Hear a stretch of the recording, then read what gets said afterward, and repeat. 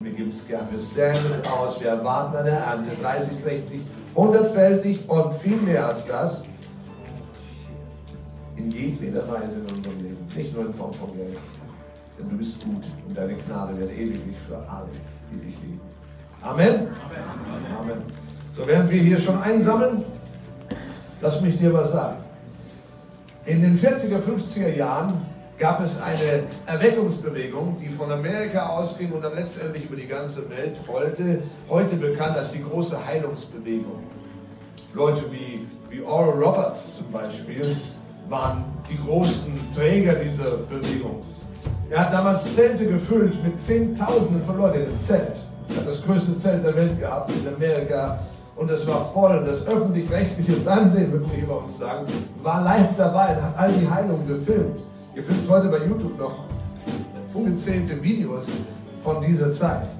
Und dieser Oral Roberts, der nachher eine Universität gegründet hat und der äh, maßgeblich dafür war, dass, dass die Lehre von Saat und Ernte wieder bekannt wurde und bis heute, heute lernen viele darüber. Wer war der Erste, der das wieder in der neuen Zeit rausmacht und sagt, dass Saat und Ernte funktioniert? Und er sagte etwas ganz Erstaunliches.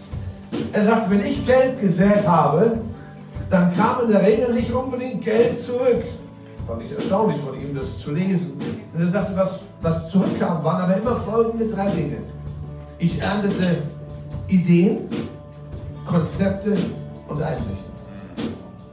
Jetzt frage ich dich, welche Ideen brauchst du gerade vielleicht für die Erziehung deiner Kinder oder für dein Geschäft oder für die Verwaltung deiner Finanzen? Welche Konzepte helfen dir hier in diesem Ding und auch in anderen Bereichen?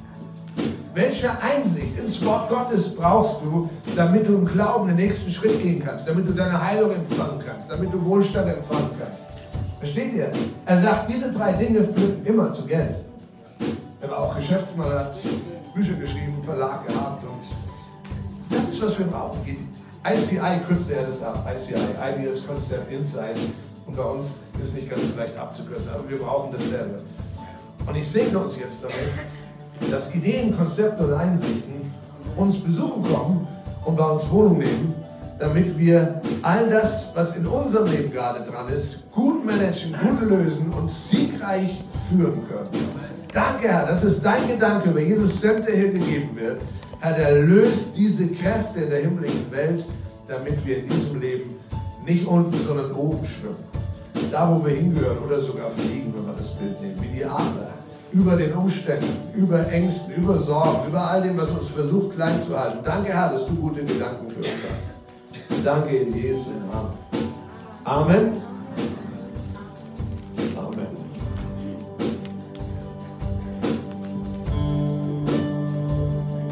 So. Amen. Ist gesegnet.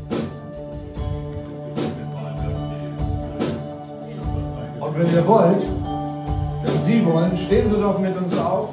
Wir sprechen vor jeder Predigt ganz bewusst eine, eine Proklamation. Wir sprechen etwas in Existenz und glauben, dass Gott darauf reagiert, wenn wir im Glauben Worte sprechen.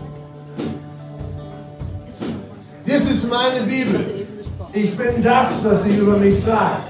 Ich habe das, wovon sie sagt, dass ich es habe. Ich kann die Dinge tun, die sie mir verheißt. Heute werde ich im Wort Gottes unterrichtet. So bekenne ich kühn, mein Verstand ist aufmerksam und mein Herz empfängt. Ich werde nie mehr derselbe sein. Ich werde empfangen den unzerstörbaren, unfehlbaren, ewigen Samen des Wortes Gottes. Ich werde nie mehr derselbe sein.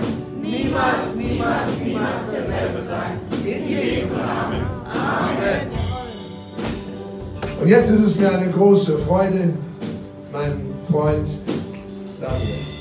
Daniel extra willkommen zu heißen.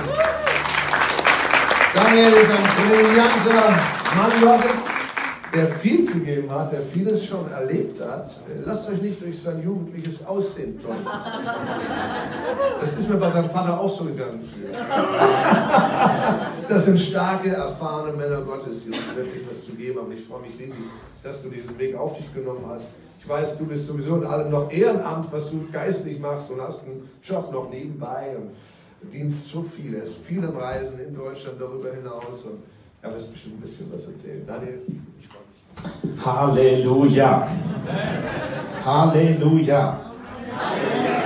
Gott ist gut. Ich bin so glücklich, bei euch heute zu sein.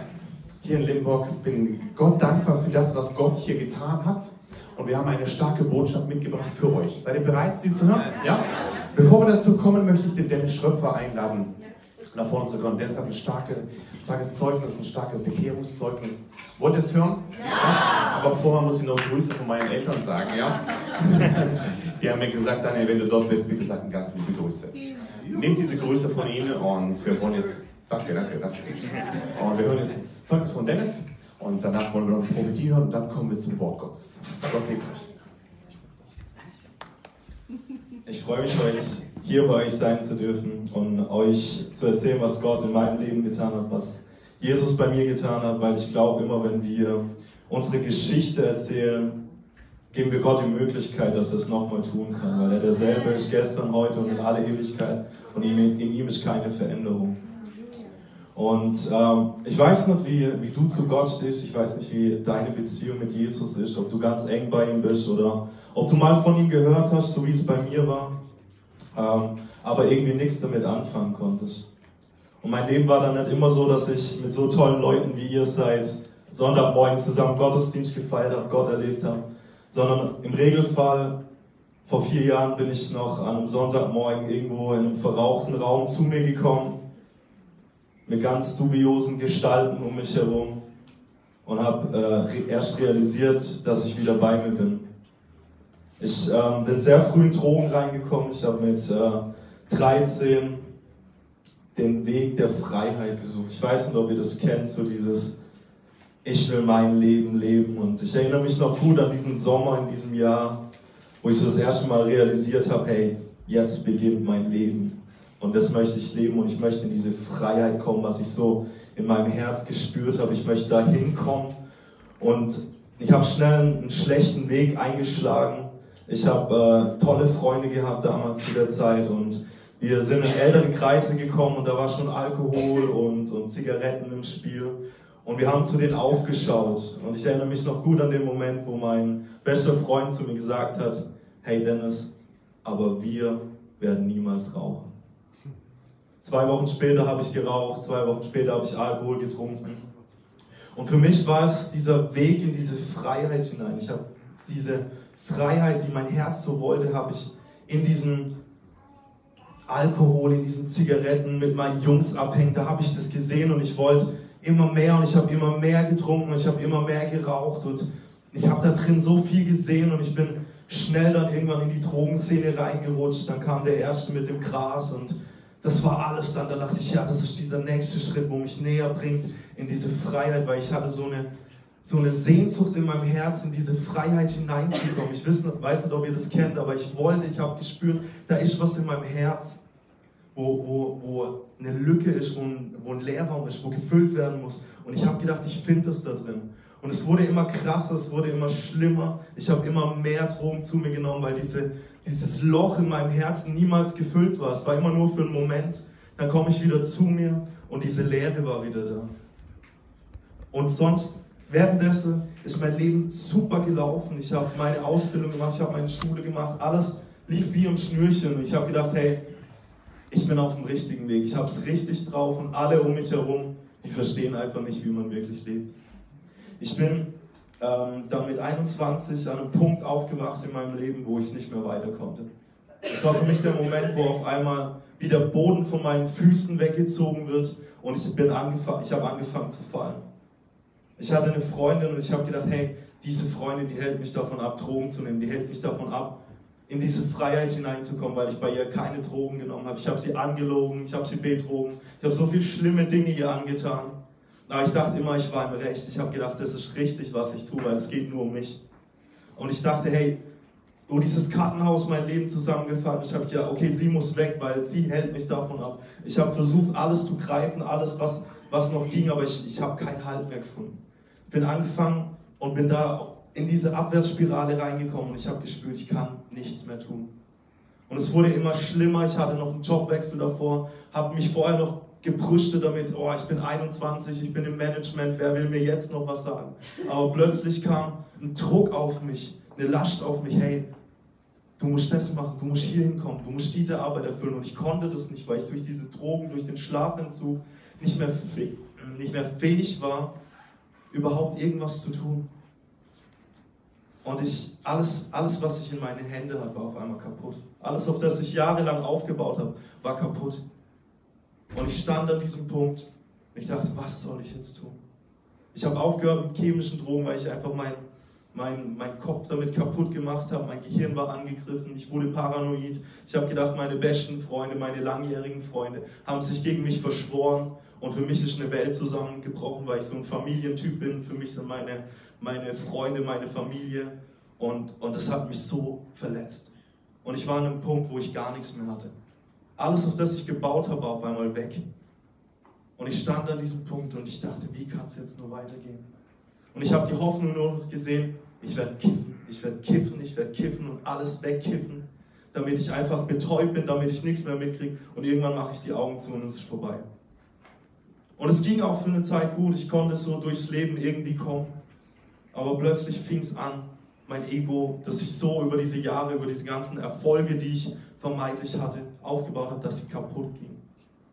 Und es fing an mit Gedanken, hey, du bist nichts, du bist niemand, du kannst nichts, du kriegst nichts auf die Reihe. Und ich dachte, ich muss noch mehr kippen, dass diese Stimme in meinem Kopf aufhört, das zu sagen. Aber es wurde immer stärker, es wurde immer mehr. Und ich konnte nachts nicht mehr schlafen. Diese Stimmen haben mich wach gehalten. Du bist nichts, du kannst nichts, du wirst nichts erreichen. Und es hat mich natürlich noch mehr runtergezogen, weil ich gar nichts mehr hatte. Ich konnte nicht mehr. Und mein ganzes Leben war vorbei. Und dann kam dieser Moment, als meine Ex-Freundin mir geschrieben hat, komm, wir, wir treffen uns. Und ich dachte, okay, ich mache das, ich gehe dahin. Und sie schaute mich an und sie sagt, hey, Dennis, dir geht es nicht gut. Und sie kannte mich sehr gut. Wir waren sechs Jahre lang zusammen und sie, sie kannte mich, sie wusste, wie es mir geht, wie es in mir vorgeht. Aber ich war zu stolz. Ich war zu stolz zu sagen, ja, ich brauche wirklich Hilfe. Ich war zu stolz zu sagen, hey, ich habe mein Leben gegen die Wand gefahren, bitte hilf mir. Für mich war immer das Schwäche, zuzugeben, dass ich was falsch gemacht habe. Ich konnte es nicht. Und so gingen unsere Wege wieder auseinander. Ich bin nach Hause. Und am Abend schreibt mir ihre Schwester, hey, sollen wir uns morgen treffen? Wir quatschen eine Runde. Mir war bewusst, hey, jetzt haben die miteinander geschrieben und jetzt möchte sie bei mir Seelsorge machen und möchte mir helfen. Und ich habe wieder abgelehnt, weil mein Stolz wieder da war und er hat mich abgehalten, diese Hilfe wieder anzunehmen. Und so ging ich wieder zu Bett in der Nacht und, und Gedanken kamen wieder. Sie haben mich wieder angegriffen, sie haben wieder gesagt, hey, du bist nichts, du kannst nichts, du wirst nichts erreichen. Und wisst ihr, ich war nach außen hin immer so ein, so ein starker Typ. Ich war ein König in Maskeradenspielen. Ich konnte jedes Gesicht aufsetzen und mir hat man das immer abgekauft. Und es war auch für mich ein Punkt, wo ich mich halten konnte. Ich habe einfach ein Image aufgesetzt und habe mich selber daran festgehalten, habe gesagt, doch, das bin ich. Aber nachts ging es nicht mehr. Nachts war niemand da. Und ich weiß nicht, ob ihr diese Momente kennt. Nachts, wenn ihr wirklich selber vor euch steht und euch das bewusst wird. Und diese Stimmen sind bei mir gekommen haben mich wieder runtergezogen. Du bist nichts, du kannst nichts, du wirst nichts erreichen. Und plötzlich in dieser Nacht war alles anders. Ich lag, lag in meinem Bett und ich spüre auf einmal, wie eine Decke auf mich kommt und sich auf mich lagert. Und mit dieser Decke kam ein tiefer Frieden und eine tiefe Ruhe und eine tiefe Liebe auf mich und in mein Herz. Und auf einmal waren alle Gedanken weg. Die ganzen Stimmen haben aufgehört. Und ich habe realisiert, wo ich wirklich stehe. Und ich höre auf einmal diese Stimme, die zu mir sagt in meinem Herzen, hey Dennis, deine Ex-Freundin und ihre Schwester haben für dich gebetet. Und ich dachte, wow, aber was soll dieser Gedanke jetzt? Für mich war Gott nichts Fremdes. Ich habe immer an Gott geglaubt, ich wusste nur nicht, dass es so lebendig mit ihm sein kann. Ich dachte, okay, ich lebe und irgendwann sehe ich ihn dann, wenn mein Leben hier vorbei ist. Für mich war Gebet eigentlich auch wieder ein Zeichen der Schwäche, weil ich gedacht habe, wenn du in einer Situation bist, wo du nicht mehr weiter kannst, dann betest du halt und hast noch so einen Halt. Ich habe nicht geglaubt, dass Gebet wirklich eine durchschlagende Kraft hat. Ich dachte, das wäre halt ein imaginärer Halt. Aber diese Liebe und dieser Frieden und diese Ruhe haben mich immer mehr erfüllt und mein ganzes Zimmer war mit dieser Ruhe erfüllt. Und ich stand nachts auf und ich stand in meinem Zimmer. Und ich habe nicht verstanden, was es ist. Und ich höre plötzlich diese Stimme, die wieder zu mir sagt, hey Dennis, es gibt einen Gott. Es gibt einen Gott, der dich liebt, einen Gott, der dich sieht und einen Gott, der dich da rausholen möchte, wo du dich selber hineingebracht hast. Und ich war geschockt. Ich dachte, was passiert jetzt? Ich bin ins Bett gegangen, ich bin aufgewacht am nächsten Tag und ich war ein neuer Mensch. Die Bibel spricht davon, dass das Altes vergangen ist und Neues geworden ist. Und ich habe das erlebt, wie Gott mich verändert hat, wie er mein ganzes Leben umgekrempelt hat. Ich habe angefangen zu beten, ich wollte mehr davon wissen. Ich habe der Schwester morgens geschrieben, hey, danke, dass du für mich gebetet hast. Und sie sagt, hey, woher weißt du das? Und ich sage, keine Ahnung, aber gestern Nacht ist das passiert. Und ich habe hab da das erlebt und Gott hat zu mir gesprochen und sagt, hey, das war Jesus. Jesus, der Interesse hat an deinem Leben und der dein Leben verändern möchte. Und ich, ich bin diesen Weg gegangen, ich wollte immer mehr, ich wollte mehr von Gott erleben, weil mir das nie so bekannt war. Und zwei Wochen später kam dieser wunderbare Moment, wo sie mich in die Gemeinde eingeladen hat. Und ich vom Typ her, ich wäre niemals in ein Haus gegangen, wo Missionswerk Strahlen der Freude draufsteht. Aber ich wusste und ich, hab, ich war so verändert durch Gott. Ich war, war am Fliegen und ich dachte, ich will alles mitnehmen, wo Gott drin ist. Und ich laufe in dieses Gebäude rein und ich sehe Menschen, die mich anschauen und sagen, hey, schön, dass du da bist. Fremde Menschen sind zu mir gekommen, haben mich umarmt und es ist schön, dass du heute Morgen hier bist. Und es hat mich bewegt, weil ich sowas nicht kannte. Ich kannte nur Menschen, die sich gefreut haben, wenn ich komme, wenn ich Drogen dabei habe. Und es war so echt und ich habe durch diese Menschen diese Liebe Gottes gespürt und dass er Interesse hat an mir. Und so stand ich in dem Gottesdienst und dann ging der Lobpreis los und alle tanzen und klatschen und freuen sich. Und es hat mich gezogen, das hat mich bewegt. Ich kannte das nicht, ich habe das noch nie erlebt. Alle hatten so eine Freude, wie ich es euch vorher erzählt habe. Für mich war ein Sonntagmorgen irgendwie, ich wache irgendwo auf und realisiere gar nicht, wo ich wirklich bin. Und dann fängt der Daniel an zu predigen und ich dachte, woher weiß der alles über mein Leben? Warum spricht er jetzt zu mir? Und danach kam dieser Moment, wo die Schwester mich angeguckt hat, hey, willst du nicht vorgehen und für dich beten lassen? Ich dachte, klar, ich will mehr davon, ich will das erleben, was ich vor zwei Wochen erlebt habe, nur das. Und ich, ich kannte ja so die ganzen Regeln nicht, wie das so abläuft, also bin ich da vorgelaufen und ich stand vorne und der tolle Edmund Exler, Daniels Papa, kommt zu mir und schaut mich an voller Liebe und sagt, für was darf ich beten? Und innerlich dachte ich, oh nein, was soll ich ihm jetzt sagen? Ich habe keine Ahnung. Ich dachte, der betet einfach für mich. Und ich bin kurz in mich gegangen. Ich dachte, was, was möchte ich? Und ich wollte sagen, ich möchte im Glauben weiter wachsen. Und während das ich gesagt habe, ich hatte damals noch keine Ahnung. Ich habe gespürt, wie Jesus vor mir stand. Und wie er mir diesen Rucksack meiner Schuld und meiner Last einfach weggenommen hat. Ich habe angefangen zu weinen, zu lachen, mich zu schütteln. Ich habe die Welt nicht mehr verstanden. Ich dachte, wow, wow, wow, wow, wow. Und dann bin ich wieder auf meinem Platz und die Schwester guckt mich an und ich weine und lache und wow. Und, und dann dachte ich, hey, ich gehe nochmal vor und lass für meine Ex-Freundin beten, dass sie das genauso erlebt, weil ich dachte, Gott macht das bestimmt genauso. Und dann gehe ich vor und ich erzähle dem Ältesten meine Geschichte. Ich so, hey, ich war drogenabhängig. Vor zwei Wochen ist das passiert. Gerade eben war ich da vorne und da passiert das. Und kannst du für meine Freundin beten, dass das auch bei ihr passiert? Und er sagt, hey Dennis, ja, das mache ich. Aber wie wäre es, wenn du dein Leben Jesus gibst? Und ich habe ja gesagt, ich habe gesagt, ich will das auf jeden Fall. Ich möchte diesen Jesus noch mehr kennenlernen. Und ich habe mich entschieden, ihn einzuladen, bewusst in mein Leben. Und seitdem ist alles verändert. Ich bin eine neue Person geworden. Gott hat mich verändert. Er hat mir seine Liebe geschenkt. Er hat zu mir gesagt, hey Dennis, fang du an, den Menschen von meiner Liebe zu erzählen. Fang ihn nicht an, Religion zu bringen, sondern meine Liebe. Ich habe mit meinem besten Freund, der sich zwei Tage später bekehrt hat, habe ich mit ihm gekriegt, habe gesagt, Patrick, warum hat es noch nie jemand erzählt? Warum wissen wir das nicht? Und Gott sagt mir, Dennis, fang du an und erzähl das. Erzähl das, wie ich wirklich bin. Und das ist mein, mein Herz. Und das ist das, was ich tue, wovon ich überzeugt bin, dass Gott jeden Menschen liebt und jeden Menschen verändern möchte. Wenn wir ihm die Tür öffnen, möchte er reinkommen. Er möchte unser Leben bereichern. Er ist so viel mehr als nur diese Religion. Und ich möchte einfach jetzt noch den Freiraum geben, wenn du hier bist und du kennst diesen Jesus nicht. Du hast vielleicht mal so wie ich von ihm gehört, aber er war für dich so weit weg. Oder du, du hast noch nie was von ihm gehört. Für dich ist vielleicht alles hier ein bisschen suspekt. Du, du weißt gar nicht, warum du hier bist. Dann sage ich dir, es hat einen ganz bestimmten Grund, dass du heute hier bist. Weil der Vater dich gezogen hat. Dein Vater im Himmel hat dich gezogen, weil er dich liebt. Und weil er eine Sehnsucht hatte nach dir. Und deswegen bist du hier. Es sind vielleicht komische Umstände passiert, dass du heute hierher gekommen bist. Aber es war dein Vater im Himmel, der eine Sehnsucht hat nach dir. Und wir möchten einfach hier den Raum geben, dass wenn jemand Jesus noch nicht kennt, oder wenn du die Frage, wo du die Ewigkeit verbringen willst, noch nicht beantworten kannst, dass du im Himmel sein wirst. Wenn du Zweifel hast, dann komm auch hier nach vorne. Und wir wollen das einfach nochmal festmachen. Wir wollen zusammen mit dir bekennen, dass du ein Kind Gottes bist, dass alle deine Fehler, alle deine Verfehlungen vergeben sind. Und dass der Heilige Geist in dich kommt. Weil er ist es, der in dir bezeugt, dass du ein Kind Gottes bist.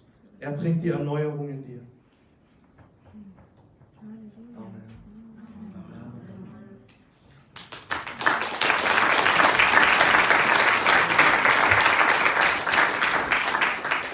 Stark, oder? Wer jetzt sein Leben Jesus geben will, bist du bereit dafür zu beten, ja? Komm nach vorne.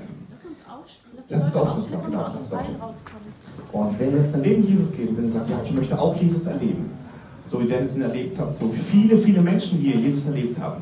Wenn du sagst, ja, ich möchte heute mein Leben Jesus geben, komm auch nach vorne, wir laden dich ein, zum Vater zu kommen. Der steht mit offenen Armen da. Er will alle Lasten wegnehmen, diese Schuld wegnehmen.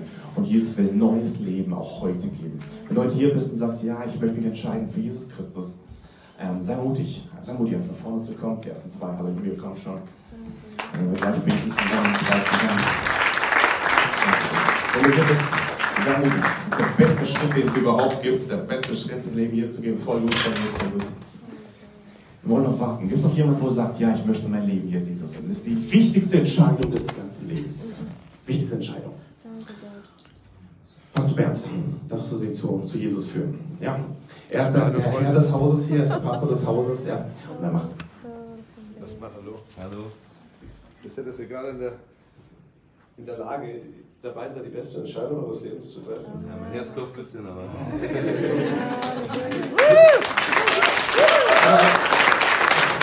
Vielleicht ist ja doch noch jemand da, der sagt, ich habe mich eigentlich nicht getraut, aber so schlimm wird es wohl nicht sein. Kommen Sie. Diese Entscheidung verändert alles. Ich war 20, als ich sie getroffen habe. Wahrscheinlich sind wir nicht so viel älter. Äh, Es war ein gutes Alter, aber ich, meine, meine Mama war 45, als sie die Entscheidung getroffen hat. Das ist auch ein gutes Alter. Mein Freund Siegfried war schon über 50. 57. So, wie alt auch immer sie sind, du bist. Ich warte noch eine halbe Minute. Und du sagst, eigentlich klopft mein Herz auch. Und äh, ich würde gerne, komm, kommen Sie. Es lohnt sich. Er macht alles neu. Ja.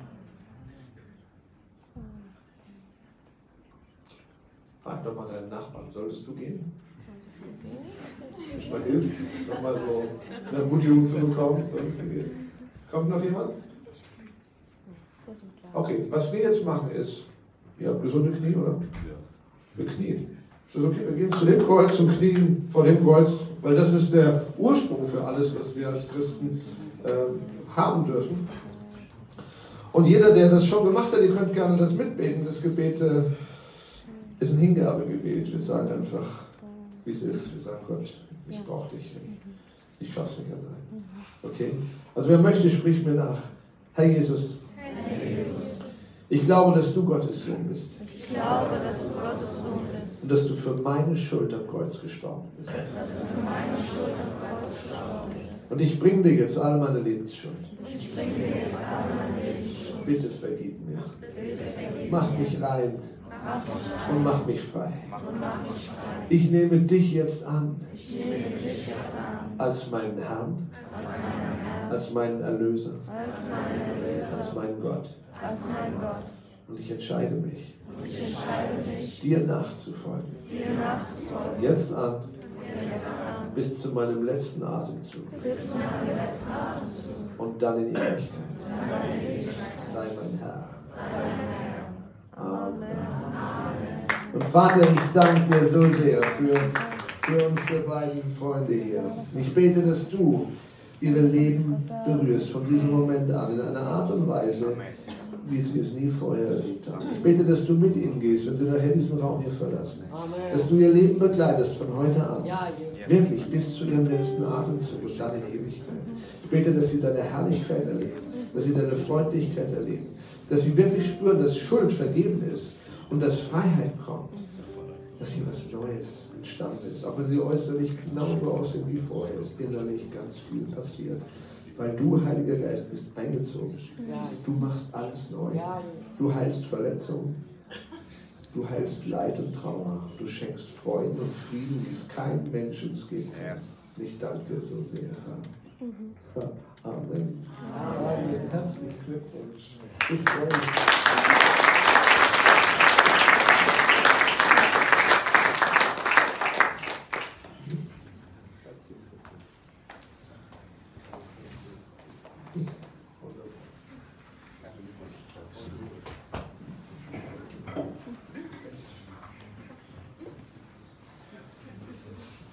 Ich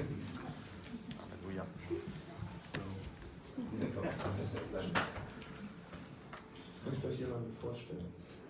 Diese Lady hier, die hat sich im selben Jahr bekehrt wie ihr, sie war älter als 20. Und sie ist eine ganz kostbare Schwester. Sie würde gerne mit euch noch kurz sprechen, mit euch beten, euch eine Kleinigkeit schenken. Wollt ihr das jetzt machen oder am Ende vom Gottesdienst?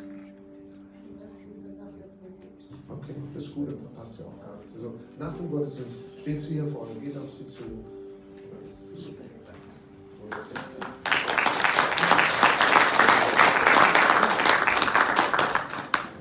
Wir haben ein Wort von Gott für euch bekommen und für die Gemeinde. Wollt ihr es hören? Ja. Dann kommen wir zu dem Predigt. Guten Morgen, liebe Gemeinde. Wir lieben euch herzlich, denn wir sind eine Familie. Ich habe ein Wort bekommen und äh, es ist ein bisschen länger. Ich habe es aufgeschrieben. Du bist unterwegs, mein Volk. Du hast ein Ziel, eine Berufung. Lasst euch, mein Volk, nicht ablenken durch Umstände, Gegenwind, Kritik, Druck. Schließt zu die Tiere von Angst, Unglaubens, Sichte, Bequemlichkeit, denn ich will dich freisetzen. Gib nicht auf, sei treu zu dem, wozu ich berufen seid. Denn diese Gemeinde ist mein Werk. Ich habe sie ins Leben gerufen durch meinen Geist.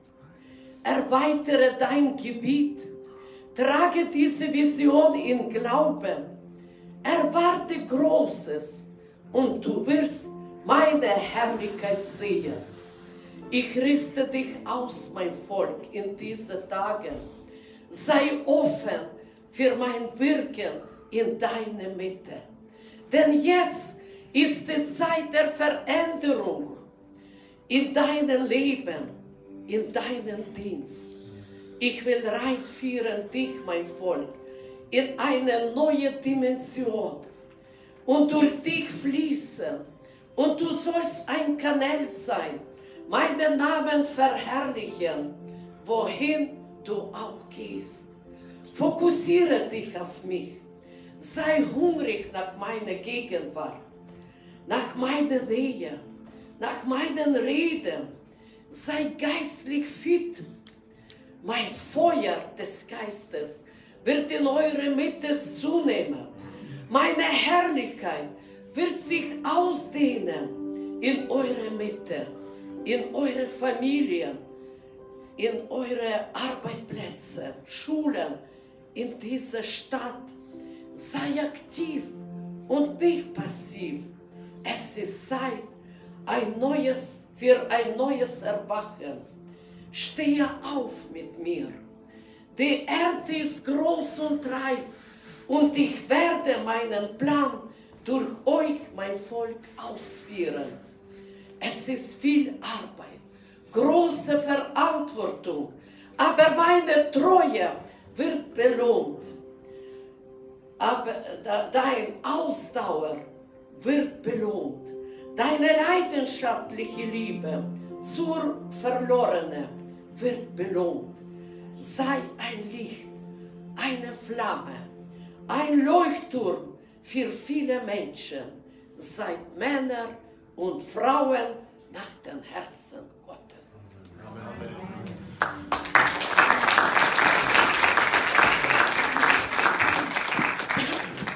Halleluja. Trete hinein in den Raum des Glaubens. Im Raum des Glaubens ist alles möglich. Und alles ist alles. Alles ist alles. Jesus sagt in Markus Kapitel 9, Vers 23, Jesus sprach zu ihm, wenn du das kannst, dem Glaubenden ist alles möglich. Wollen wir es zusammen sprechen? Dem Glaubenden ist alles möglich. Vielleicht kämpfst du mit deiner Familiensituation. Vielleicht weißt du nicht, wie du da rauskommst. Vielleicht weißt du nicht, wie das, wie das ist mit deinen Finanzen. Vielleicht weißt du nicht, wie du rauskommst aus dieser Krankheit. Jesus spricht. Dem Glaubenden ist alles möglich. Ich möchte dich ermutigen, ich habe für euch gebetet und Gott hat mir gesagt, er möchte euch neu auf eine Ebene des Glaubens stellen, bei dem alles, alles, alles, alles möglich ist. Alles. Was ist dieser Glaube? Wozu brauchen wir das? Galater Kapitel 3. Galater Kapitel 3, Vers 10. Denn alle, die auf Gesetzeswerken sind, die sind unter dem Fluch. Denn es steht geschrieben, verflucht ist jeder, der nicht bleibt in allem, was im Buch des Gesetzes geschrieben ist, um es zu tun. Dass aber durch das Gesetz niemand vor Gott gerechtfertigt wird, ist offenbar. Denn der Gerechte wird aus Glauben leben. Wer von euch ist gerecht vor Jesus? Lass uns das zusammen sprechen. Der Gerechte wird aus Glauben leben. Das ist das Schlüssel hier. Das Gesetz aber ist nicht aus Glauben, sondern wer dieses Ding getan hat, wird durch sie leben. Christus hat uns losgekauft vom Fluch des Gesetzes, indem er ein Fluch für uns geworden ist. Denn es steht geschrieben, verflucht ist jeder, der am Holz hängt. Damit der Segen Abrahams in Christus Jesus zu den Nationen komme, damit wir die Verheißung des Geistes durch Halleluja. Durch Glauben empfangen. Durch Glauben. Wie, wie bekommen wir die Verheißung des Geistes? Durch das ist der Schlüssel. Was ist dieser Segen Abrahams? Hier kommt Jesus und er sagt, ich hänge ans Kreuz. Ich gehe ans Kreuz und ich gebe mein Leben für dich. Am Kreuz ist die Strafe beendet. Am Kreuz ist die, ist die Krankheit getippt. Der Arzt hat damals zu mir gesagt, hey, in zwei Jahren wirst du im Rollstuhl sitzen. MS, Multiple Sklerose, unheilbar krank. Aber was unmöglich ist bei Menschen, ist möglich bei Gott. Und Gott hat mich geheilt. Heute bin ich 16 Jahre vollständig geheilt, weil es einen Gott gibt, der heute noch heilt. Sein Name ist Jesus. Amen. Am Kreuz hat er meine Schuld getragen. Am Kreuz hat er meine Krankheit auf sich genommen, weil er mich liebt. Amen. Und noch viel mehr liebt er dich. Weißt du das? Er liebt dich von ganzem Herzen. Er liebt dich, weil, weil er sein Blut vergossen hat. Und er hat nicht nur ewiges Leben gegeben, nicht nur Freiheit, von Krankheit und von Bindungen. Er hat sich gedacht, ich möchte die Limburg-Leute so richtig arg segnen. Amen. Und dann hat er sich überlegt, was kann ich im neuen Bund machen, was besonders ist. Und da gibt es einen Segen Abrahams. Gott hat gesagt, die aus seinem Geschlecht werden, werden, haben einen Segen. Was haben wir damit zu tun? Gehören wir zu Abraham? Jetzt kommt Jesus hier und er geht ans Kreuz. Und Galater 3 sagt uns, für die, die aus Glauben sind, wird dieser Segen Abrahams über Christus Jesus zu den Nationen kommen. Also nach Limburg. Da ist ein Segen Abrahams, den du heute ergreifen kannst. Wenn du verstehst, was am Kreuz geschehen ist, über Christus heute ins Jahr 2019 in deine Stadt kommt. Amen. Der Segen Abrahams hat mit Fruchtbarkeit zu tun. Amen. Ist so. Der Segen Abrahams hat mit Reichtum zu tun. Der Segen Abrahams hat mit Ideen, mit Weisheit zu tun. Der Segen Abrahams wird sich in deinem Geschäft ziemlich deutlich sichtbar machen. Der Segen Abrahams wird sich in deinem Haus ziemlich deutlich sichtbar machen. Der Segen Abrahams ist ein Segen, der durch Christus Jesus zu den Nationen kommt. Aber wie? Damit wir die Verheißung des Geistes empfangen durch Durch Glauben kannst du das nehmen. Durch Glauben kannst du das ergreifen. Ohne Glauben liegt der Segen auf dem Boden rum. Ich möchte euch ermutigen, dass du heute sagt, Jesus, ich nehme diesen Segen wieder. Dass du es packst. Dass du vom Boden sagst, Jesus, ich nehme diesen Segen, der hier rumliegt. Und ich nehme den. Heb ihn mal hoch. Jesus, ich danke dir für jede Hand, die diesen Segen ergriffen hat. Und wir machen diese prophetische Handlung jetzt zusammen. Und ich danke dir, Jesus, dass dieser Segen Abrahams von, von tausenden von Jahren durch Christus Jesus heute nach Limburg hineinkommt. Heute, heute ergriffen wird und nie wieder losgelassen hat. Und Jesus spricht zu euch in Offenbarung, halte fest, was du hast. halte fest, was du hast, damit niemand dein Siegeskranz nehme. Halleluja. Halte fest, was du hast. Halte es fest. Und ich spreche aus, dass Fruchtbarkeit hineinkommt. Fruchtbarkeit und Segen und Fülle, sodass aus diesem Ort Menschen in die Mission geführt werden, Menschen in die Fülle hineingeführt Amen. Menschen die Herrlichkeit Gottes erleben werden. Halleluja. Halleluja. In Jesu Namen, die ganze Gemeinde sage Amen. Halleluja. Weiter geht's. Die Verheißung des Geistes mit Glauben empfangen. Habt ihr gehört, dass ich ein Himmelserlebnis hatte? Ja, okay, nicht so vielleicht gut. Am 18. Mai 2013 hat Jesus mich für eineinhalb Stunden in den Himmel genommen. Ich habe dort meine, meine Schwester gesehen, meine Schwester, die war ein halbes Jahr alt, als sie gestorben ist. Sie war älter wie ich, somit konnte ich sie nie sehen. Und, und dort habe ich sie wieder gesehen. Es war eine mega Heilung für unsere ganze Familie. Es war eine mega Heilung für meine Eltern. Und ich habe sie im Himmel gesehen und ich habe verstanden, hey, hier, hier geht es viel besser. Hier auf dieser Erde. Sie wartet auf uns. Halleluja. Ich habe im Himmel gesehen, diese ganzen Fehlgeburten, die ganzen ähm, abgetriebenen Babys habe ich im Himmel gesehen. Ich habe gesehen, wie die Mütter, wenn sie in den Himmel kommen, sie zurückbekommen und sie alles bekommen, was sie auf dieser Erde verpasst haben.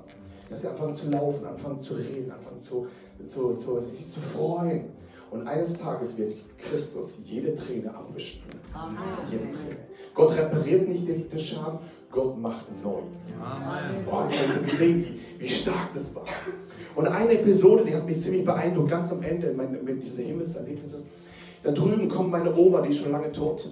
Und meine Oma hat, hat immer gesprochen in mein Leben hinein. Sie hat prophetisch gesprochen, aus Glauben. Ich kam nach Hause mit immer mit schlechten Noten, Vierer und Fünfer. Und sie hat gesprochen, Daniel, du wirst ein Mann Gottes werden und du wirst gut werden in der Schule. Du wirst Prediger werden. Das Letzte, was ich machen wollte in meinem Leben, ist Prediger werden. Ähm, ging technisch gar nicht, ich habe gestottert ohne Ende. Und dann, das geht gar nicht und außerdem will ich das gar nicht. Ähm, und das Zweite, gut werden in der Schule, hat auch nicht geklappt. Habe ich immer wieder neue Vierer und Fünfer zu Hause gebracht. Und sie hat immer gesprochen, Daniel, du wirst gut werden, du wirst ein, ein, ein Prediger werden. Und so ist sie gestorben, sie hat nichts davon gesehen. Heute ist sie im Himmel.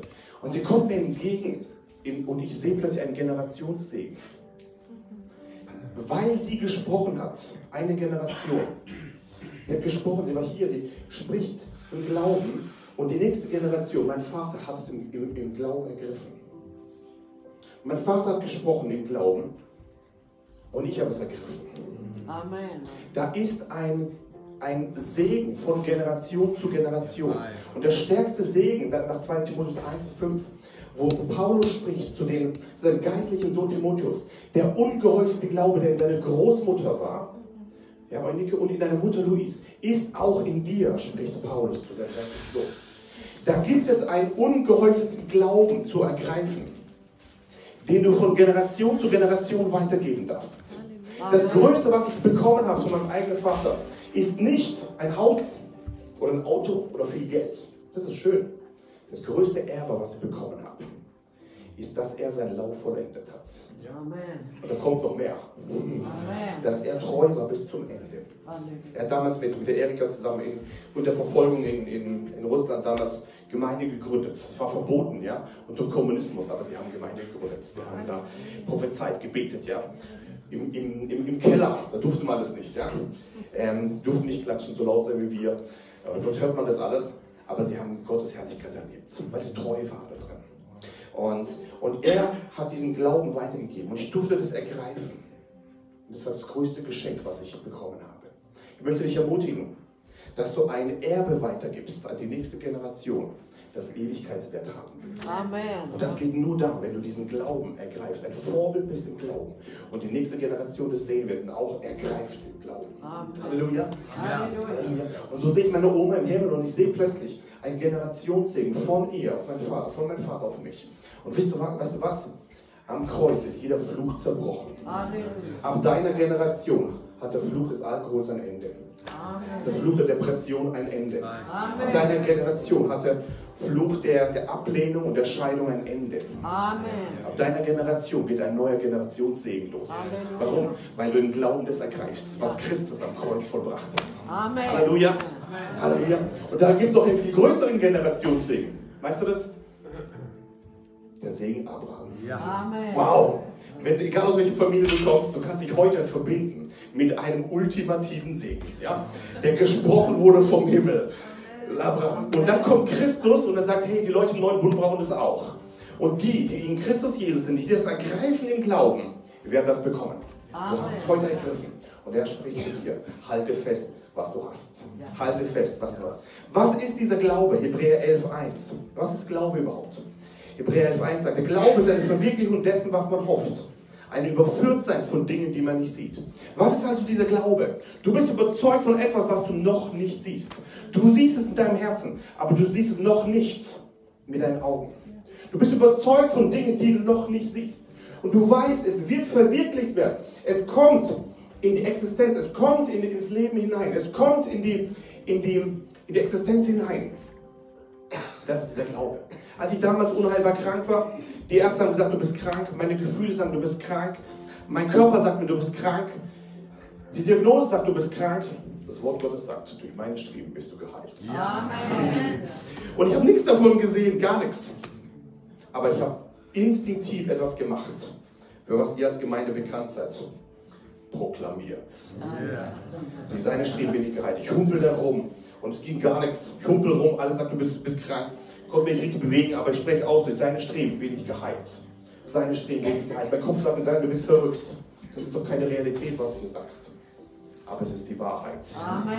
Mit der Wahrheit Gottes können wir jede Realität verändern. Amen. Mit der Wahrheit Gottes können wir jede Realität verändern. Jede, jede, jede, jede. Denn Jesus sagt, alles, alles, alles ist möglich für den, der da glaubt. glaubt. Halleluja. Und ich habe es ausgesprochen. Und Römer 10, Vers 17 sagt, der Glaube kommt vom Hören. So bitte hör auf zu hören, äh, Leuten zuzuhören, die zweifeln.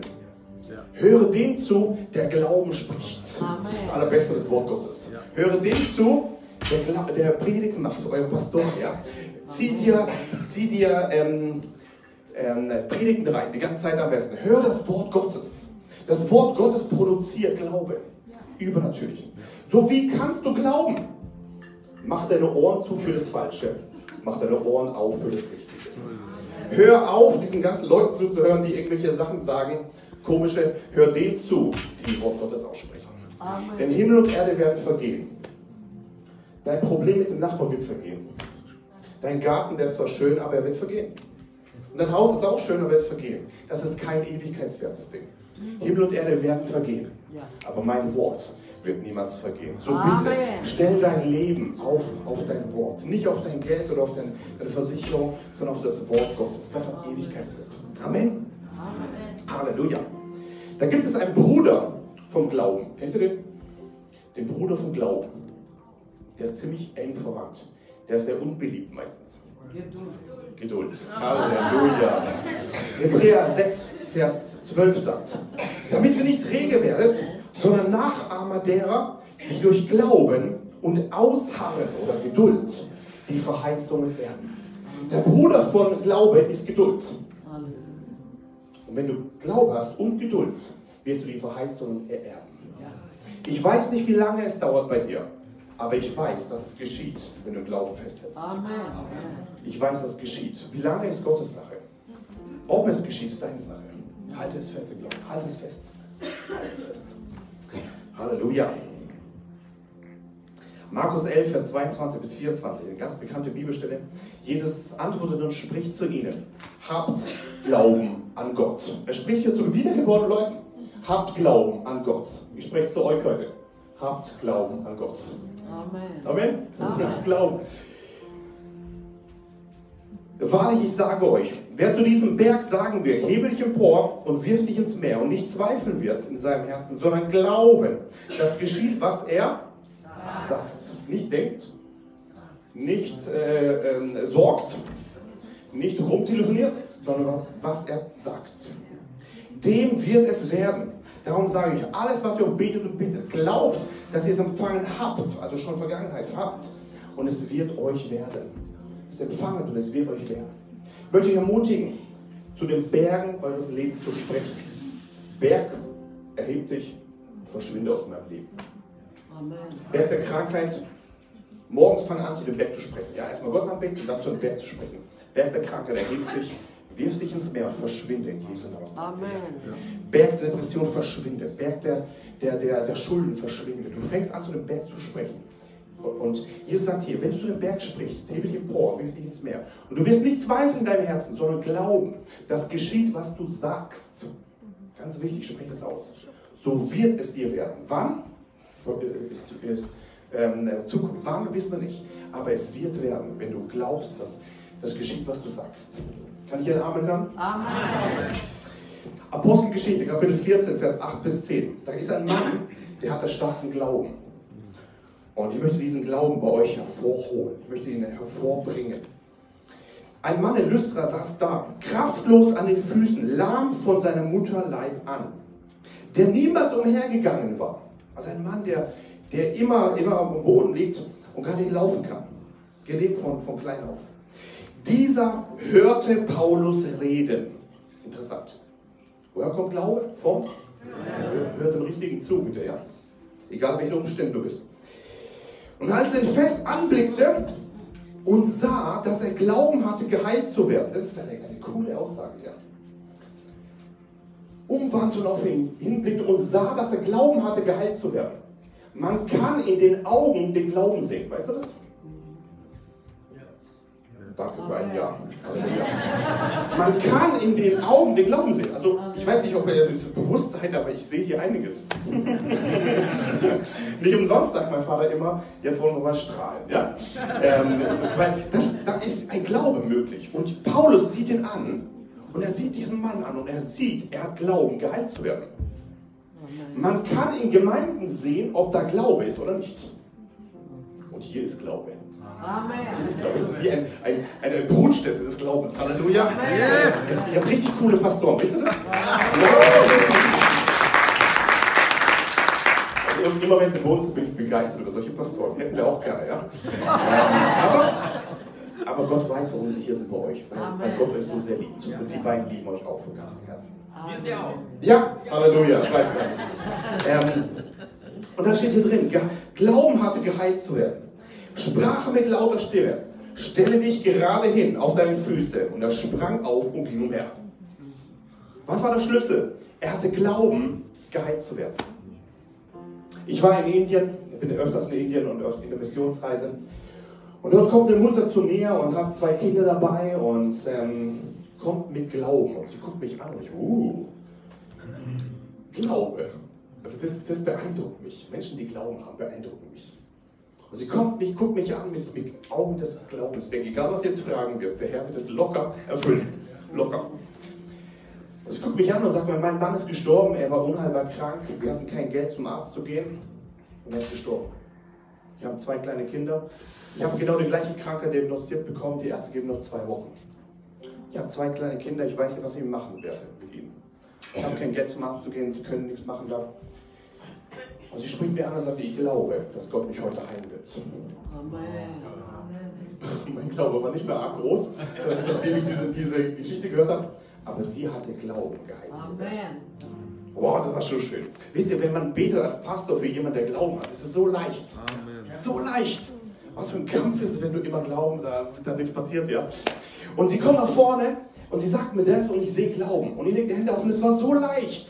Die Gegenwart Gottes kommt. Die Gegenwart berührt sie und sie ist eine, eine lebende Mama heute, ja, die ein Segen ist für ihre Kinder. Warum? Weil sie Glauben hatte, geheilt zu werden. Amen. Ich möchte dich ermutigen, wenn Jesus runterguckt hier ins Kino nach Limburg, dass er so viele Glaubensleute sieht, wie Leute hier drin sitzen. Amen. Dass er guckt und sagt, wow, die müssen nur bitten und sie bekommen. Halleluja. Nur bitten und sie bekommen. Und ich möchte dich ermutigen, du und dein Haus, ihr sollt dem Herrn dienen. Amen. Du und dein Haus, ihr gehört dem Herrn. Ihr gehört dem Herrn.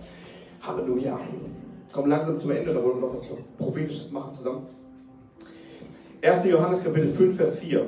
Denn alles, was aus Gott geboren ist, überwindet die Welt.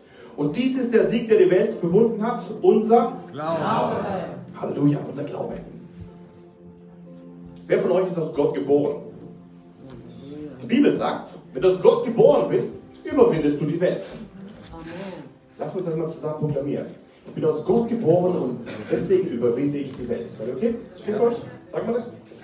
Ich bin aus Gott geboren und deswegen überwinde ich die Welt. Und jetzt kommt dieser Sieg, den die Bibel uns sagt. Was ist der Sieg in der Welt? Und dies ist der Sieg, der die Welt überwunden hat. Unser ich möchte dich ermutigen, höre das Wort Gottes. Durchs Wort Gottes kommt Glaube. Sehe dich nicht in deinen Umständen, sehe es das, was Gott in deinem Leben gemacht hat. Du bist das, habt ihr heute proklamiert, was das Wort sagt, was du bist. Du kannst das ergreifen, was verheißen ist. Das ist das Entscheidende. Ich möchte dich ermutigen, nicht nur zu glauben, sondern als ganze Gemeinde in einen Raum des Glaubens hineinzutreten.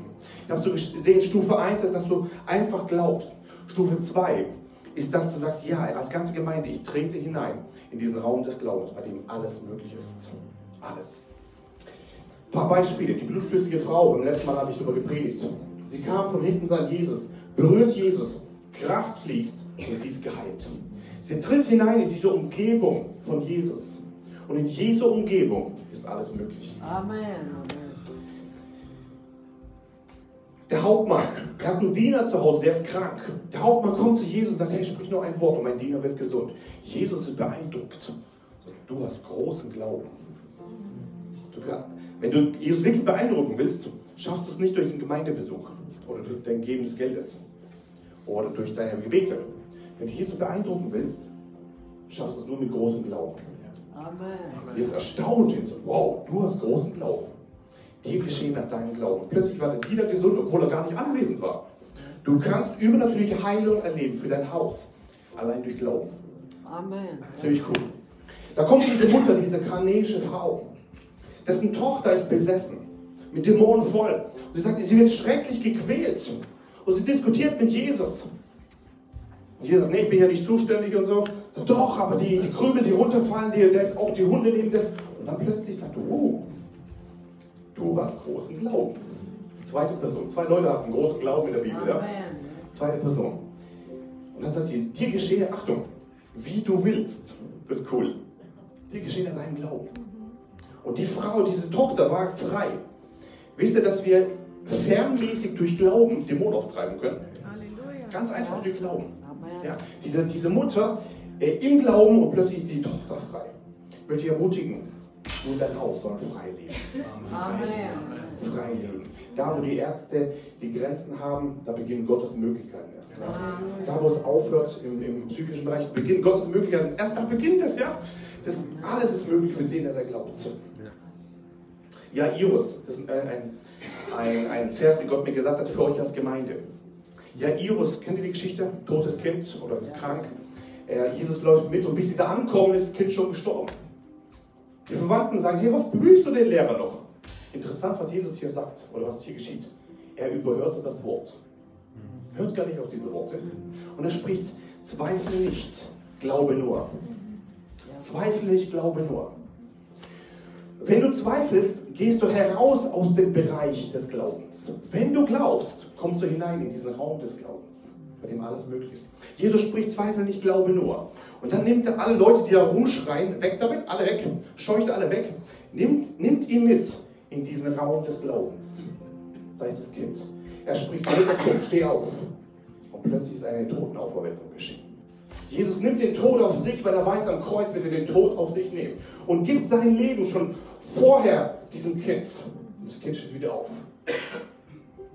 Amen. Und Jesus nimmt ihn mit an diesen Ort und sagt, Tür zu, hier drin wird gleich etwas geschehen. Jesus möchte euch als Gemeinde in diesen Raum des Glaubens hineinnehmen. Amen. An diesem Raum, wo tote Visionen wieder lebendig werden. Amen. An diesem Glauben, an diesem Raum, wo Berufungen, die schon lange beerdigt sind, wieder zustande kommen. In diesem Raum, in dem alles möglich ist. Er will ja. euch mitnehmen. Ich habe es so gesehen, er will euch mitnehmen, wie dieser Jairus. Aber er spricht, die Eingangstür ist, zweifle nicht, Amen. glaube nur. Amen. Amen. Und ähm, kommt gleich zum Gebet. Die Jünger Jesu, sie haben im Raum des Glaubens, sie waren um Jesus herum. Und weil sie um Jesus herum waren, haben sie etwas erlebt, dass Zeichen und Wunder geschehen sind durch ihre Hand. Und wir wollen eine Prophetie zusammen hören. Ähm, und wollen danach ins Gebet gehen.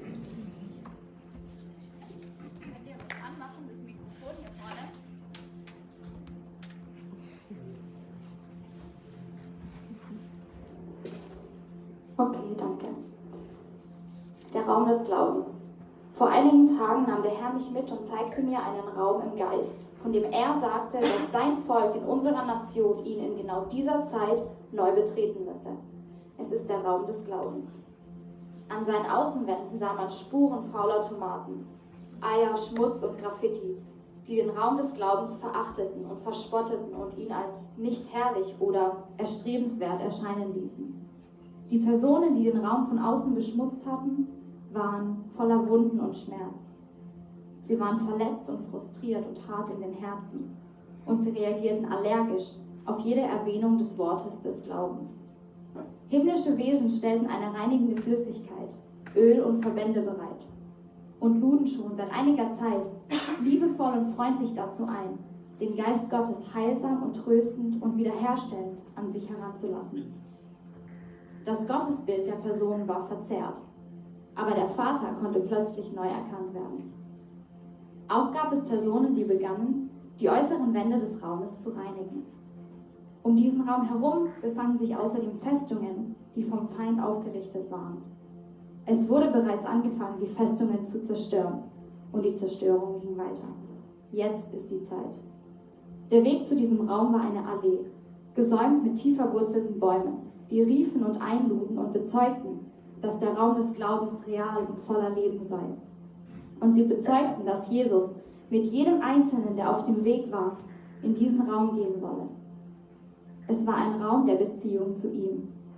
Dann sah ich die Tür zu diesem Raum. Sie war sehr niedrig. Zwei Wächter befanden sich dort am Eingang. Mit ihnen war in keinster Weise zu verhandeln. Ich habe selten so klare, unbeirrbare Wächter gesehen. Den Personen, die diesen Raum betreten wollten, wurden Dinge weggenommen. Manches wurde den Wächtern übergeben, anderes fiel ab, sobald man in die Nähe des Eingangs zu diesem Raum kam. Manche Interessenten kehrten wieder um, weil sie festhielten und nicht loslassen wollten. Einige Meter weiter empfing man unerwartet Geschenke und Ausrüstung. Diese hätte man vorher gar nicht tragen können. Die angespannten Gesichter der Eintretenden begannen sich zu entspannen. In einzelnen Augen zeigte sich neu ein frohes Funkeln. Je tiefer man in diesen Raum vordrang, kam man immer wieder an solche Wachposten, die von dem im Glauben weitergehenden Sichtweisen, Haltungen, Worte, Handlungen etc. entgegennahmen. Es waren Dinge, die im Bereich des Glaubens nicht erlaubt waren und dort nicht würden standhalten können. Irgendwann begannen einige Personen zu fliegen und auf dem Nichts zu laufen. Der Raum war voller Geschenke, voller Gaben, Ereignisse und Gegenstände. Sie hatten die Eigenschaft, dass sie erst, wenn man sie gezielt aus den Regalen, aus den Schränken oder einfach aus dem Raum neben oder über einem nehmen wollte, sichtbar und spürbar wurden. Vorher sah ich sie im sehenden Denken, Sprechen und dann im Geist der Zugreifenden. Ich sah die Wände dieses Raumes. Phasenweise waren sie total bunt, voller Erlebnisse, voller Bilder und voller Leidenschaft. An manchen Wegstrecken waren sie farblos und ohne jede Emotion. Auf diesen Abschnitten gab es Türen, wo manche Personen den Raum des Glaubens verließen. Diese Gänge hatten Straßennamen wie Gasse des Ausharrens oder Weg ohne sichtbaren Beweis. Wo ist die Verheißung? Liebe, die Stille nach dem Abenteuer, Unterstellung und Anklage und so weiter. Je weiter ich ging, desto beweglicher, weicher und dünner wurden diese Wände. Sie bewegten sich und öffneten mehr und mehr den zunächst engen Raum in eine immer größer werdende Weite. Von weitem sah ich, ich selbst war nicht dort, dass dieser Raum irgendwo, irgendwann keine Wände mehr haben würde. Dieser Bereich hatte den Namen Alles ist möglich. Die Atmosphäre des Raumes war wie ein Parfüm. Sie war gereinigt von, von Enge, Tradition und Härte und hieß einfach nur Leben. Sie fühlte sich neu an, sehr angenehm, friedlich und gleichzeitig total lebendig, frisch und kraftvoll. Es war ein neuer Duft, den es vorher nicht gegeben hatte, eigens für diese Zeit kreiert. Sobald man ihn roch, verschwanden staubige, modrige und bittere Stoffe aus dem Geruch und auch aus dem Bereich des Schmeckens und ungute Assoziationen konnten sich nicht mehr halten. Der Geist Gottes sprach, dass er in diesen Tagen neu ruft zu glauben. Die Aufträge, die er gegeben hat, um unsere Nation auf seine Wege zu bringen, können nur im Glauben an ihn und an sein Wort ausgeführt werden. Sein Tonfall ist sehr sanft, voller Vorfreude und sehr entschlossen. Die Wächter spiegelten ihn irgendwie wieder. Beten wir, dass unsere Nation neu diesen Raum betritt. Amen.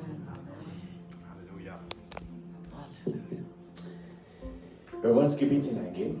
Ich lade euch ein, jeder, der sagt, ja, ich möchte jetzt in diesen Raum des Glaubens gehen, auch gleich einen Aufruf, kommt aber nach vorne, wir werden uns hier zusammen eins machen und sagen, Jesus, wir als Gemeinde sind bereit, in diesen Raum des Glaubens zu gehen. Ich habe so bei, bei, euch, wo ich gebeten habe, ich so gesehen, bevor ihr kommt, ich habe so gesehen, dass ihr hineintretet. Bevor ihr kommt, warte kurz, bevor ihr kommt, ähm, möchte ich ermutigen, dass du einen Schritt des Glaubens machst. Das heißt, in dem Moment, wenn du aufstehst und nach vorne laufst, ist es schon, ich betrete im Glauben diesen Raum des Glaubens.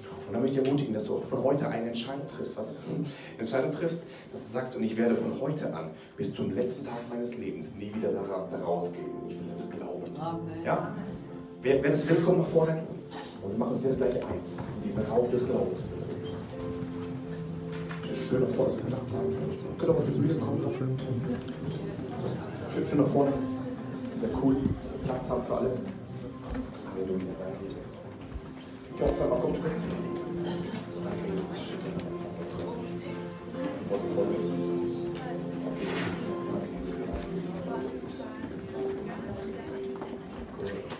schön aufstellen, cool, ja. Wie eine Armee. Wie eine Armee. Eine richtig coole Familie, wisst ihr das? Eine richtig coole Familie. Schön, schön durchlaufen, das wäre super. Gerade bekehrt und schon ab in den Raum des Glaubens. Voll cool, voll cool, voll cool, voll cool. Sehr gut, sehr gut, sehr gut, sehr gut. Sehr gut. Sind immer die, die sofort ins Schlaf gleich durchsetzen. Voll gut.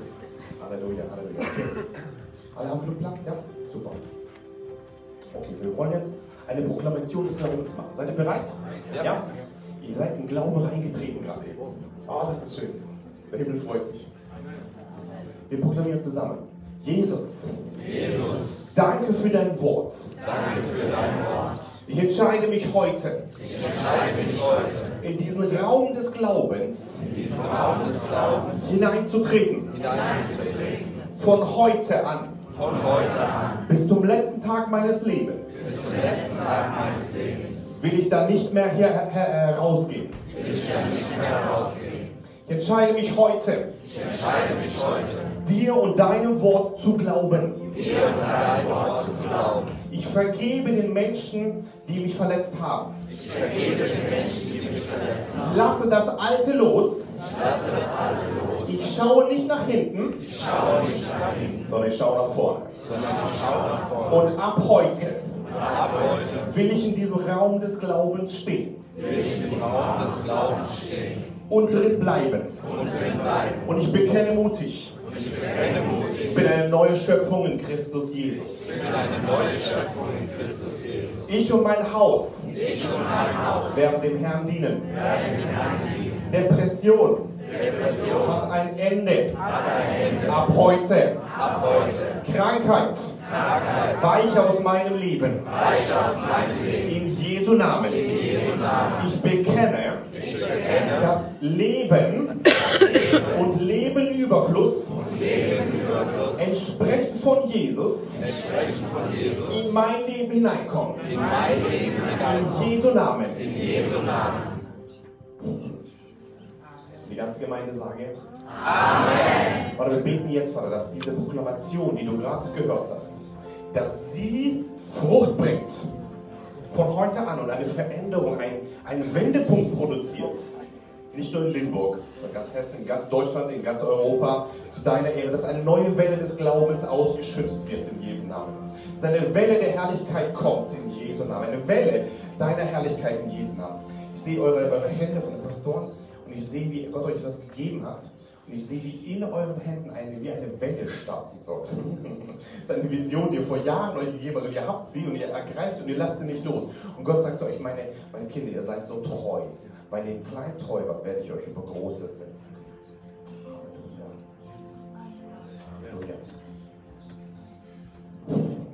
Das sind eure Sehnsüchte, sind nicht so. Sehnsüchte. Und sie werden zustande kommen. Gott sagt, ich stehe zu meinem Wort. Was ich verheißen habe, das tue ich aus. Und Vater, ich bete jetzt, dass dein Wille geschieht, wie im Himmel so auf der Erde. Können wir zurückbringen? Geht es? Ach, cool. Ich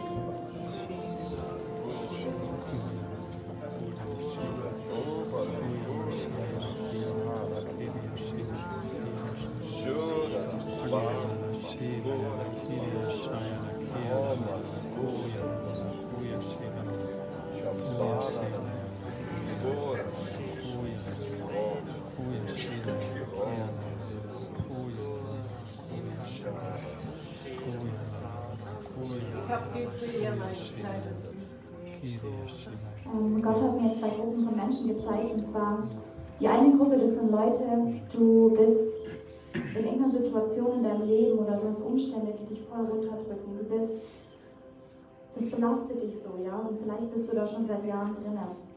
Und irgendwie bist du müde geworden zu glauben, ja. Irgendwie nimmst du es einfach so hin. Und Gott hat mir gezeigt, dass er dir heute neue Kraft geben möchte, ja. Im Glauben einfach wieder aufzustehen. Und ähm, Gott ist bereit, dir da zu helfen. Und das Einzige, was du jetzt tun musst, ist dich neu zu entscheiden. Ja, ich will im Glauben weitergehen. Und ähm, ich habe gesehen, wie Jesus so neben dir steht und er wartet nur, bis du wie so seine Hand nimmst und sagst, okay, gehen wir im Glauben weiter. Und ähm, die zweite Gruppe, die ich gesehen habe, das sind Leute, du hast vielleicht jetzt nicht eine richtig krasse Situation in deinem Leben, aber immer wieder kommen Umstände. Vielleicht sind es so einfache Dinge wie, man ist immer wieder krank in der Schule oder auf der Arbeit läuft es halt nicht so gut. Und du nimmst es einfach hin. Aber Jesus sagt dir, mit mir gibt es so viel mehr, ja.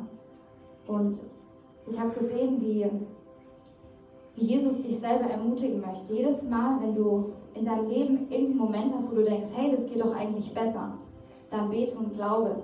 Ich habe gesehen, wie du dann von Sieg zu Sieg gehst, ja, und wie sich dein Leben so richtig verändert, ja, weil Gott hat mehr für dich als irgendwie durchs Leben gehen. Er hat das Beste für dich vorbereitet. Und ich will dich ermutigen, dich einfach neu zu entscheiden. Und dann geht es so einfach mit Jesus.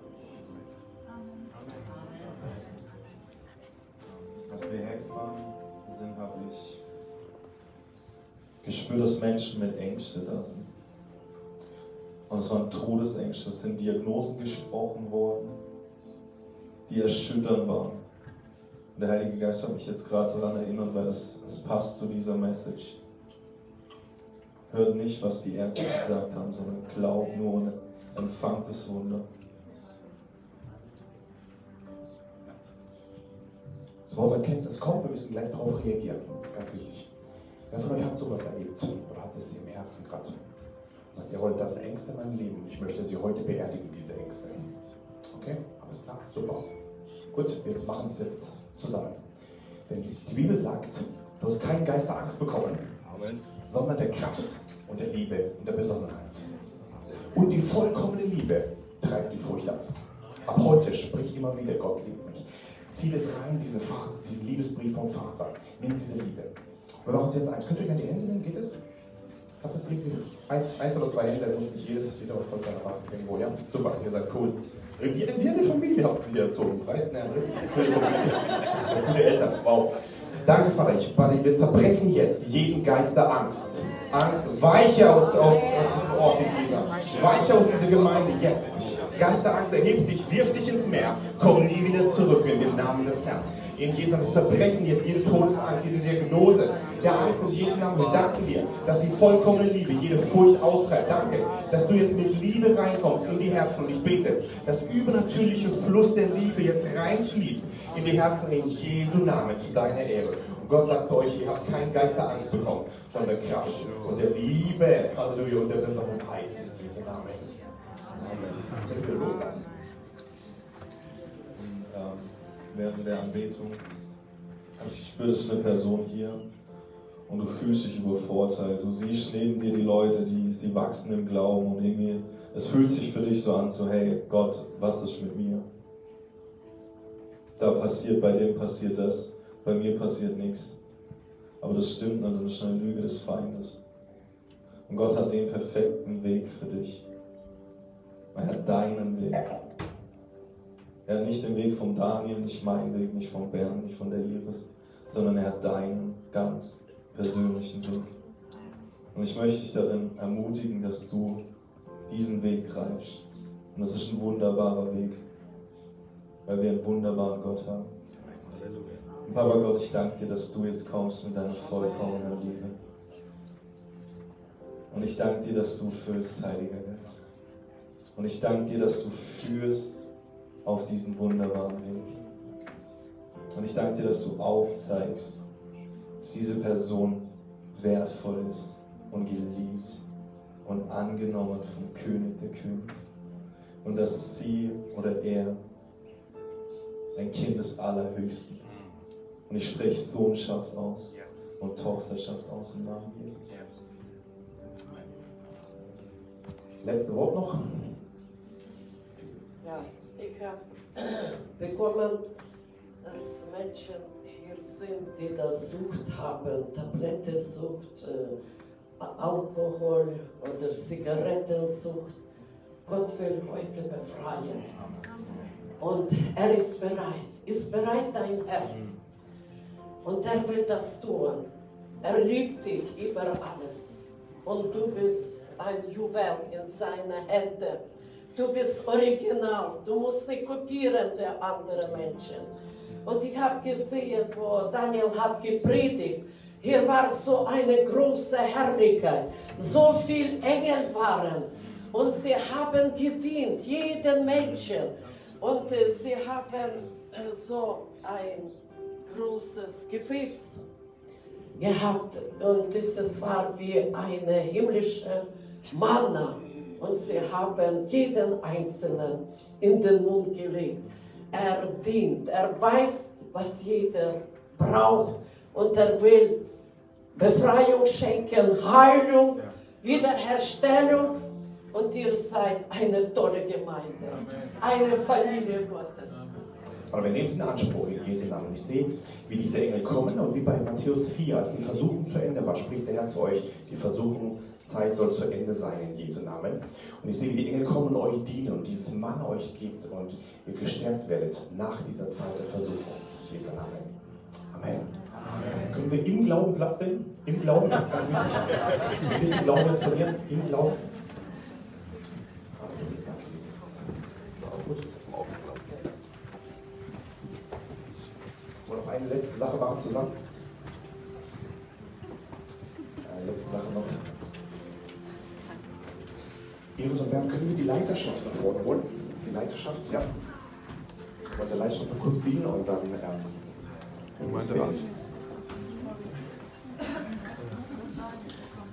alle Leiter sozusagen, oder? Der Gemeinderat, kommt ihr bitte nach vorne? Danke, Jesus. Wir haben ein Wort von Gott bekommen für euch als Gemeinderat.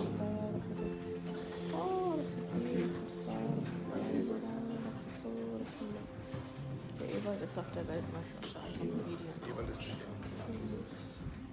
Halleluja. Liebt ihr den Gemeinderat? Könnt ihr die Hände ausstrecken zu ihm? Aber dann machen Sie jetzt eins im Glauben. Und ich danke dir, Mann zur Frau, danke für die Herrlichkeit Gottes in Jesu Namen zu deiner Ehre. Und ich danke, dass du die Fülle hineinbringst in Jesu Namen. Danke, dass du, Vater, die Hände, Vater, was sie auch anpacken. Es wird ihnen gelingen in Jesu Namen. So spreche ich deinen Segen hinein, wie im Himmel, so auf der Erde. Danke, dass deine Fülle jetzt fließt, deine Herrlichkeit jetzt fließt. Deine Gnade jetzt fließt ganz neu in Jesu Namen zu deiner Ehre. Fülle, Fülle, Fülle, mehr, mehr, mehr. In Jesu Namen zu deiner Ehre. Danke, Vater. Danke, Jesus. Und ich sehe, interessant, könnte man euch an die Hände nehmen? Ich sehe, dass eine besondere Einheit hier ist in euch. Und Gott sagt, ich möchte die Einheit noch stärker werden lassen, in euch und durch euch. Und ich sehe das an der Liebe untereinander, während sie erkennt, dass ihr meine Jünger seid. Das ist interessant.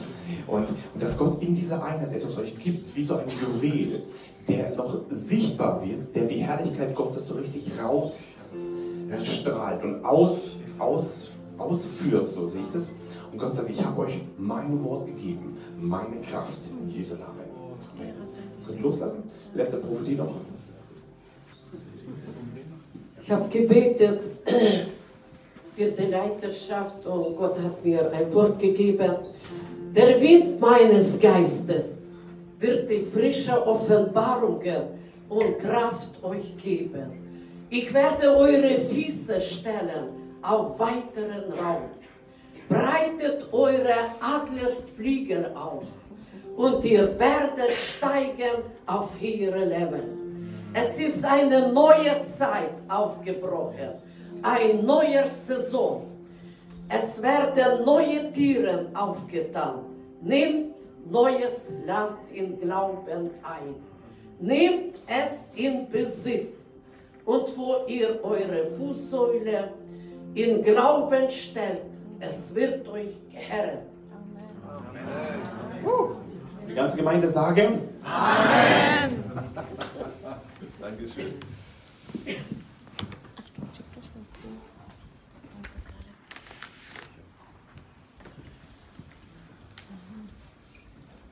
Welch ein Morgen.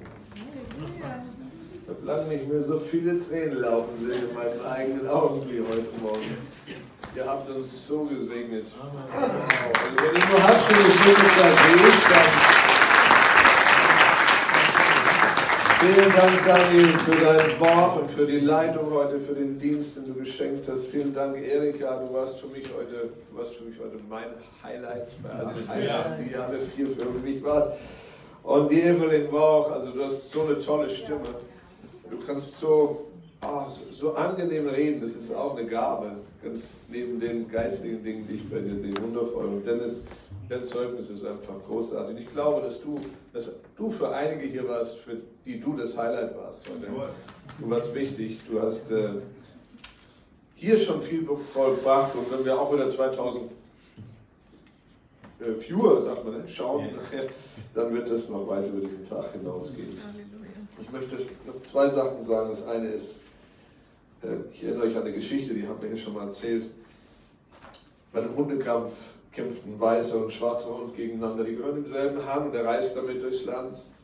Und mal gewinnt der Schwarze und mal gewinnt der Weiße. Und jemand, der das so beobachtet, der fragt den Mann, sag mal, du wettest immer auf den richtigen Hund, aber mal gewinnt der und mal gewinnt der. Woher weißt du im Vorhinein immer, wer gewinnt? Du sagst der Mann ganz einfach, es gewinnt immer der Hund, den ich gefüttert habe vom Kampf. weißt du, dass es mit Angst und, und Glaube genauso ist? Das sind die beiden Hunde in deinem Leben. Angst und Glaube. Es gewinnt immer nur einer von beiden. Und zwar der, den du fütterst. Angst zu füttern ist ganz einfach. Hör einfach ein paar Leuten zu, wenn es dir nicht so gut geht. Och, du Arme. Oh, das wird bestimmt noch schlimmer. Oh, ich krieg bestimmt auch die Grippe. Was auch immer. Leute reden so, so Dinge ständig, die denken nicht drüber nach. Und was sie immer schüren, ist Angst, Unsicherheit, Sorge. Aber wenn du Leuten zuhörst, wie Pastor Daniel oder Dennis, dann hörst du Glauben. Deswegen ist es ein guter Rat, Predigten zu hören. Die richtigen vor allen Dingen. Es gibt ja. nicht nur gute Predigten, es gibt auch nicht nur gute Gemeinden in der Hinsicht. Glauben ist tatsächlich in Deutschland ein relativ rares Produkt geworden, wenn man es immer so nennen will. Aber wir glauben, dass da wieder was aufbricht, dass Erweckung kommt, dass Glauben in Deutschland wieder einen Platz bekommt, auch in den großen Kirchen aller Art, überall Äh, wir glauben, dass Glauben jedem Christen gehört. Aber wir müssen es nehmen. Und das ist meine zweite Sache. Eine meiner wichtigsten Bibelstellen für mein persönliches Leben ist Galater 6, Vers 9. Vielleicht nimmst auch du heute was mit. Da heißt es nämlich, lasst uns aber im Gutes tun, nicht müde werden, denn zu seiner Zeit werden wir auch ernten, wenn wir nicht ermatten. Ich habe daraus eine Formel gestrickt, die heißt, ist, ist sehr einfach. Tue das Richtige, beständig, gleich Erfolg. Das Richtige tun, mal Beständigkeit, gleich Erfolg. Das ist eine einfache Formel, die findest du in ganz vielen anderen Bibelstellen auch. Es ist nicht nur in dieser Bibelstelle da. Das Richtige ist das, was Gottes Wort dir sagt, wofür Gott steht. Biblische Wahrheit und Weisheit ist das Richtige. Ist nicht immer das, was sich richtig anfühlt. Wenn du den Zähnen gibst, weißt du, es fühlt sich nicht immer richtig an. Manchmal könnte man mit dem Geld gerade andere Dinge tun. Oder äh, dann Ehepartner treu zu sein. Vielleicht fühlt sich das auch nicht richtig an, wenn ihr gerade einen richtigen Krach habt oder irgendein anderer gerade um dich wirbt. Richtig? Die Gefühle, die, die, die verleiten uns. Das Herz betrügt uns mehr als alles andere. So vertraue auf Gottes Willen, nicht deinem Herz. Folge nicht deinem Herz. Es sei denn, es ist gefüllt mit Gottes Wort. Also unser Herz ist nur ein Gegenstand, ist nur ein Glas. Da ist irgendwas drin. Da kann viel Müll drin sein. Weißt du, emotionaler Müll. Und wenn du dich davon führen lässt, dann führst du so ein Leben. Immer noch jauchzen, zu Tode betrübt. Tu die richtigen Dinge. Und wie, wie Pastor Daniel gesagt hat, Beständigkeit ja. gehört dazu zur Formel. Wenn ich nur das Richtige tue, glaube für meine Heilung zwei Wochen lang und dann denke ich, es ist nichts passiert und ich lasse es wieder sein, mache wieder meine alten Worte, oh, mir geht es so schlecht, oh, jammer, jammer, jammer. Was passiert? Die Heilung kommt nicht durch. Vielleicht habe ich einen Tag vorher aufgehört, vielleicht ein Jahr vorher, keine Ahnung. Wir wissen nicht immer, wie lange es dauert. Aber ich sage euch ja auch immer dasselbe, wir haben nichts zu verlieren, wenn wir für unsere Heilung glauben. Das Schlimmste ist, wir sterben drüber. Wo ist das Problem? Wenn du Christ bist. Wenn du Christ bist. Das ist kein Problem. Der Ort, wo wir nach diesem Leben ankommen, ist ohnehin schöner als alles, was wir hier erleben können. Ich lebe gern hier. Keine Todessehnsucht, okay? Aber ich weiß auch, das ist nur ein Abklatsch von dem, was mich in Ewigkeit bei Gott erwartet. So, ich habe keine Furcht vom Tod. Deswegen sage ich, ich habe nichts zu verlieren. Wenn du krank bist, nimm deine Medikamente, geh zum Arzt, aber nimm deine geistliche Medizin zu dir. Proklamier das, was Gott sagt.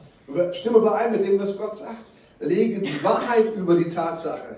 Und die Tatsache muss sich der Wahrheit anpassen. anpassen. Denn die Wahrheit heißt Jesus Christus, die Wahrheit heißt Wort Gottes. Und die Tatsache kann die Diagnose sein, kann dein Kontostand sein oder eine Krise in der Beziehung. Aber wenn immer du die Wahrheit drauflegst, vor allem beständig drauf liegen lässt, verlass dich drauf. Das ist wie wenn du ein Blatt hier hinlegst, so ein Blatt, ich komme jetzt bald wieder an die Bäume, und legst so ein dickes Buch drauf. Was macht das Blatt? Es wird Blatt. Amen. So ist es, wenn wir die Wahrheit des Wortes Gottes auf die Tatsache legen und schlupp, fällt schon irgendwas in sich zusammen. Weiß der Gott. So, ich sage vielen Dank. Ich lade euch ein, nächste Woche seid ihr. Pastorin ihres Predigt, es wird cool. Und wir machen da weiter, wo wir heute aufgehört haben, oder? Oder Schatz? Gut, ja? guter, guter Schnitt hier weiterzumachen.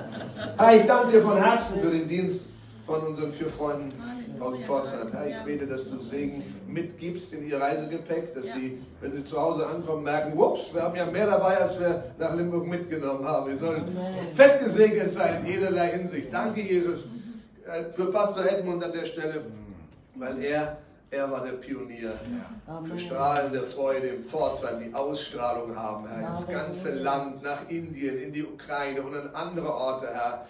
So ein wundervolles Erbe. Ehre sei dir. Herr, wir wollen auch so Erben hier sehen. Wir wollen sehen, wie unsere nächsten Generationen uns überstrahlen mit allem, Herr, was sie für dich tun. Danke, Herr, dass auch wir hier Grund legen und dass hier Dinge weitergehen und dass wir wundervolle Prophetien mitnehmen dürfen heute.